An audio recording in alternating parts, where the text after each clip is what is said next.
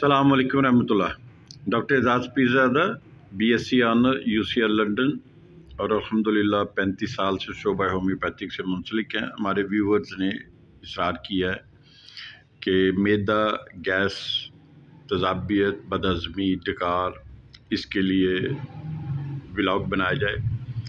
तो इसके लिए आज मैंने चार मेडिसन मुंतब की हैं। एक तो पहले नंबर पे काबोवेज है। काबोवेज, दूसरी लाइकोपोडियम है, तीसरी चाइना ऑफ़, और चौथी जो है वो स्टरकोलिया है। इन चार मेडिसिन को आप जेन में रखिएगा। मैं पहले तो थोड़ी सी इनकी तफसील दे देता हूँ आपको और एंड पे खाना बताऊँगा कि खाना क्या खाना है, जिससे आप हमेशा इंशाल्लाह गैस से बचे रहेंगे। तो सबसे पहले जो काबोविज है, ये डकार बहुत ज़्यादा आते हैं। मैदा पेट हैवी रहता है भरा भरा सा, और अनूदगी रहती है। और पेट तना हुआ रहता है, गैस, दर्द, और जब लेटते हैं तो फिर उस पर ज़्यादा ये चीज़ आती है। मुँह में थूक भी बहुत ज़्यादा आता है, और जो सांस है ना, वो ऐसे लगता है जैसे तंग हो गया सांस में तंगी होती है। छोटा सांस हो जाता है जैसे दमे वाले का होता है। सुबह के टाइम पे थोड़ी सी मतली भी होती है और दर्द होती है जो छाती की तरफ़ जाती है और पेट की तरफ़ जाती है, तनाव भी रहता है और बैक साइड पे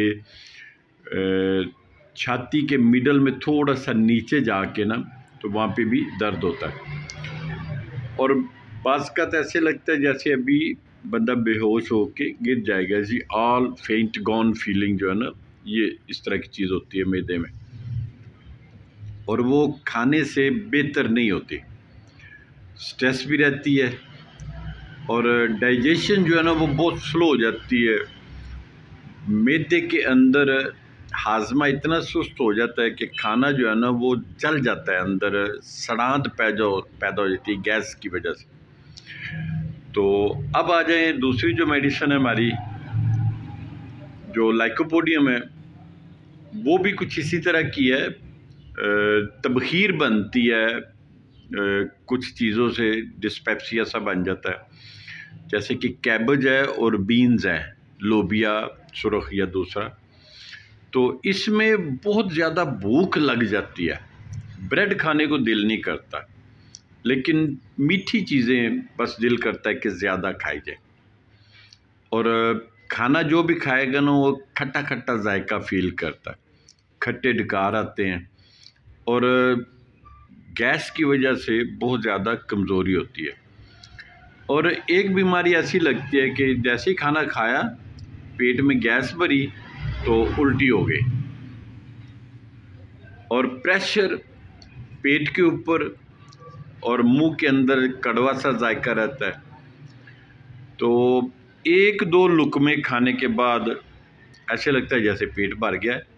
पहले लगता है कि बड़ी भूख है, लेकिन दो चार जो है ना eating ever so little creates fullness कि अब दो चार लुकमे खाएँगे तो पेट भरा लगता है।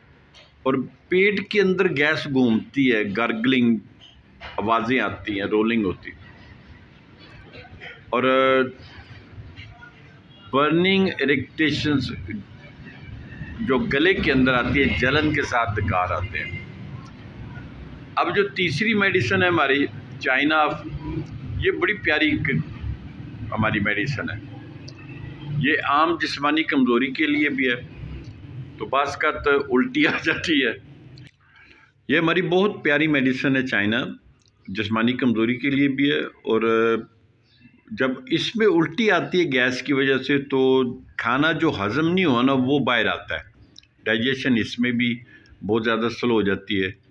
और बोझ बन जाता है पेट के ऊपर खाने के बाद।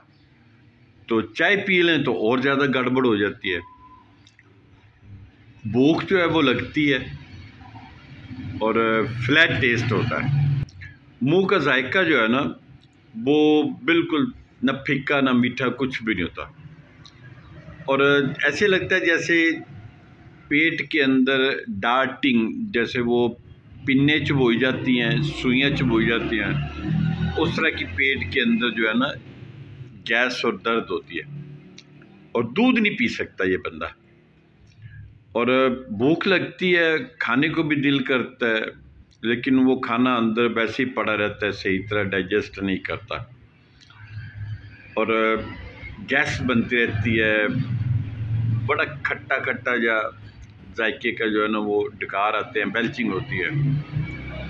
तो किसी किस्म की भी कोई चीज़ खाएँ या कुछ भी हो, वो रिलीव नहीं करती और हिचकी साथ रहती है। और पेट जो है ना वो तनाव का शिकार रहता है। अब ये चीज़ है और जो ये स्टर कोलिया है, ये तीन चीज़ें इसकी याद रखें कि जिस बंदे को जल्दी चलते हुए या तेज़ तेज़ सीढ़ियाँ चढ़ते हुए सांस चढ़ता है तो स्टर कोलिया उसको ठीक करेगा। पेट की ताकत के लिए इससे बेहतर कोई दवाई नहीं है होम्योपैथिक में। जो दूसरी दवाई हैं, उनके साथ थोड़ा सा प्रॉब्लम यह है कि हम अल्फ़ा भी यूज़ कर सकते हैं, लेकिन उसका ये होगा कि वेट बढ़ाएगा। स्टरकोलिया पेट को बेहतरीन ताकत देगा, हाजमा ठीक करेगा। आपकी सांस की तंगी जो तेज़ चलने से होती है, वो दूर करेगा और स्पेशली थकावट को बेहतरीन कर देगा। और इसकी जो डोज़ है, वो कार्बोविज लाइकोपोडियम और चाइना, ये पाँच पाँच कतरे होंगे और पंद्रह कतरे स्टरकोलिया के होंगे। ये तीस कतरे आपकी एक खुराक है सुबह, दोपहर, शाम। और इसके साथ गैस की प्रॉब्लम, इंशाल्लाह मुकम्मल ठीक होगी। अब आइए मैं आपको बताऊँ कि खाना क्या खाना है। जितने भी मरीज़ गैस वाले हैं ना, उनसे मेरी यही रिक्वेस्ट है कि वो दोपहर का खाना छोड़ दें। सुबह एक चपाती, लेकिन खुश को कोई तेल, पराठा, घी, इस तरह की चीज़ें ना हो। अगर मलाई मिल सकती है तो वो मलाई एक चम्मच ज़रूर ले लें, लेकिन एक चम्मच मलाई, चार से छः चम्मच दही और एक अंडा हो सूखी रोटी। हो ये आपका सुबह का नाश्ता है, जो सबसे बेहतरीन है। सा चाय का एक कप पी लें। अब जो दिन को आपने करना है, वो सलाद खाना है। सलाद के अंदर जो भी चीज़ आपको मिल जाए। सलाद के अंदर आपके खीरा, गोंगलू, गाजर, मूली और अपना शिमला मिर्च, टमाटर, इस तरह की चीज़ें जो चार पाँच है चकंदर भी हो तो वो भी आप शामिल कर सकते हैं। एक पाव, डेढ़ पाव, आध किलो। सुबह अगर नाश्ता आप सात, आठ बजे, साढ़े आठ बजे नाश्ता कर लेते हैं तो ग्यारह से लेके चार बजे तक ये बस थोड़ा थोड़ा थोड़ा करके खाएँ।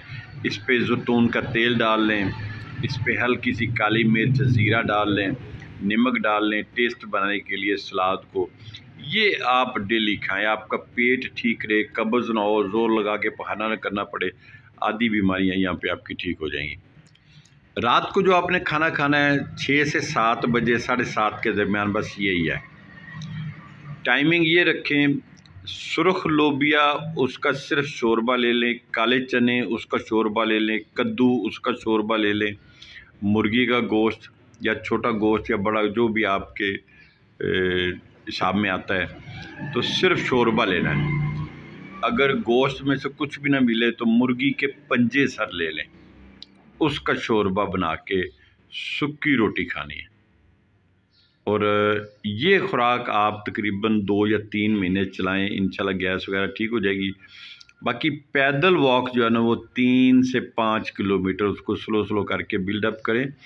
और तीन से पाँच किलोमीटर जब आप इस रेंज पे आ जाएँगे तो इन कोई गैस, कोई ऐसी प्रॉब्लम नहीं रहेगी। इन मेडिसन को याद रखिए। जब भी आपको प्रॉब्लम हो तो एक महीना, डेढ़ महीना, दो महीने इनको लगातार कर दें। अल्लाह ताला आपको शिफा दे। असल वालेकुम रहमतुल्लाह